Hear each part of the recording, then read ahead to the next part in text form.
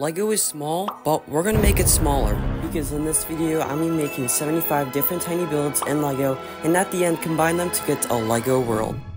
For a couple of years now, LEGO has made a ton of LEGO sets, including these Microfighter Star Wars ships that I own. A small ship, but big enough to hold a minifigure. I even have this tiny black LEGO Lamborghini. However, these builds are not tiny enough. So I'm gonna have to make my own. Like, you can make a tiny LEGO minifigure using studs.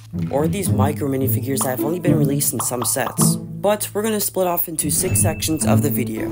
Starting off with buildings. Buildings are the main part of a city. So we're gonna have to make a ton of them. First, if you grab a ton of these teal pieces, you could build the Statue of Liberty. Or use jumper pieces like I use in this orange and gray building, this tan and nougat building, this gray and dark gray building, and this gold brown building. This building technique is fire. You can also use LEGO minifigure heads like this building, just don't look in the back.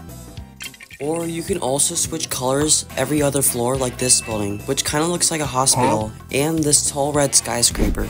But what if we go into the future? Using these weird cylinder pieces, I was able to make these cool futuristic buildings like this peach one and this gray one. I was also able to use these cool flower pieces that I never used for a building, just stacking them on top of each other.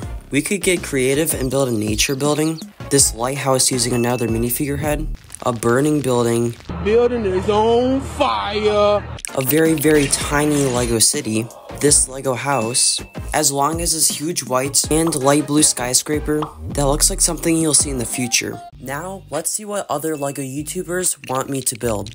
Starting off with Brick Science. What's up, LEGO fanatics? It's Riley from Brick Science, and I want you to build a mini LEGO submarine. It has to have some sort of torpedo. I think that'd be cool.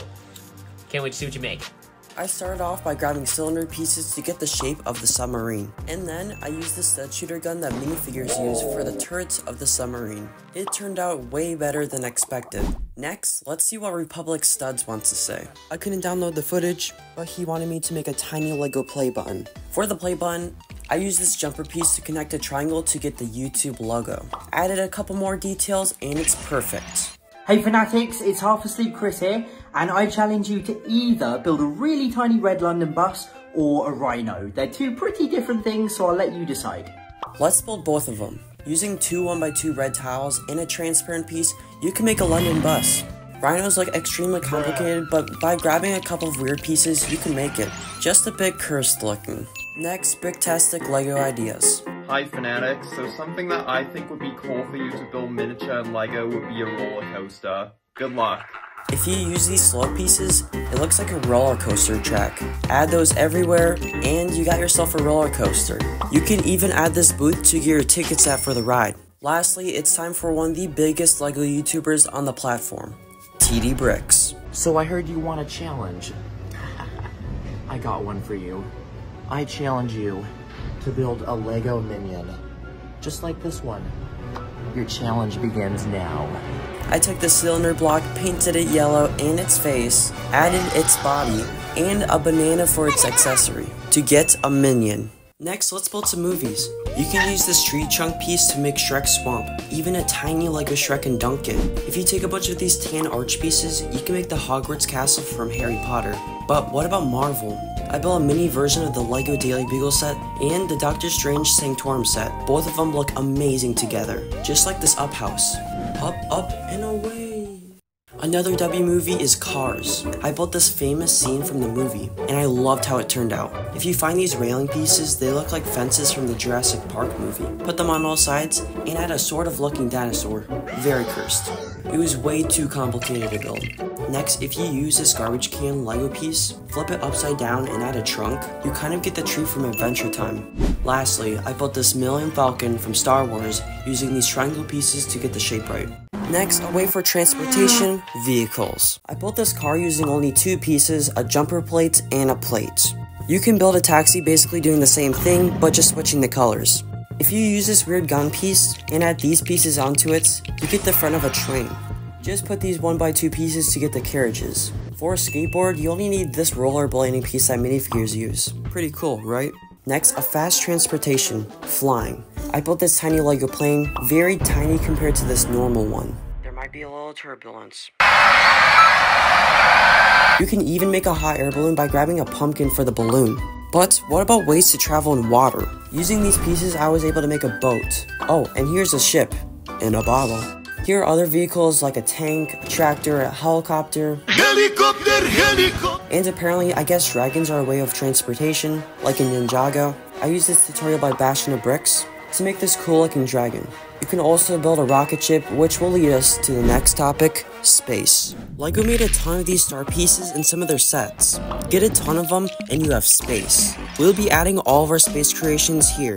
LEGO had also made this star piece in their sets. We could use this for the sun. I even added a meteor. I got this fire piece from the Daily Bugle set. It gives it a great effect. And if aliens truly exist, I made a tiny one in LEGO. With even this UFO I had to take from Bob. These look perfect so far.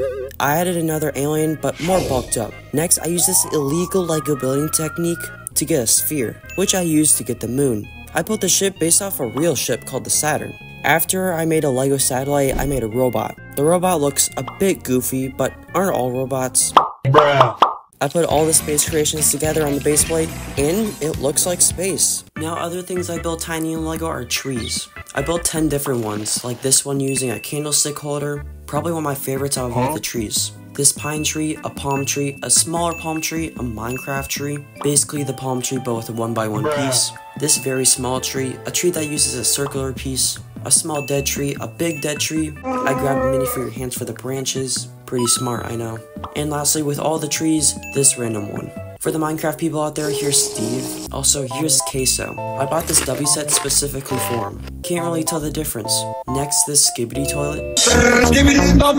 Here's a mountain using a ton of slope pieces, an island for vacation, and even the soccer field. You can use the tiny minifigures we made for the soccer players. There's this campfire, and last but not least, a floating island. After building a ton of tiny builds in LEGO, let's combine them to get a LEGO world. I started by grabbing this empty gray platform that will soon be something amazing. I would have three sections, city, ocean, and mountain. I first used this roller coaster base plate because everybody needs to have some fun sometime. Then I grabbed this blue plate for the ocean part. I got some of these dark gray tiles for the city roads. I added cars along the way. Then I used the buildings that we built before. I decided to also add a ton of trees all over the place by the roller coaster and the mountain area, which is where we will build next. I put the tiny mountain right here and built more to it to make it bigger. I put the island, boat, and Statue of Liberty in the ocean, but now there's nothing in the sky. Very plain. So I brought the up house floating in the sky and a plane. Both of these look really cool together. I had a couple more finishing details all over the place and it was finished. I really like how it turned out and found that you could still make things in LEGO much tinier than you think. Every part is useful in some way. Thanks for watching, I hope I got fully monetized and I want to thank you all for watching these videos I've made so far. Also thank you to the LEGO YouTubers who gave me ideas, can't thank you enough. Otherwise, I'll see ya on the next one.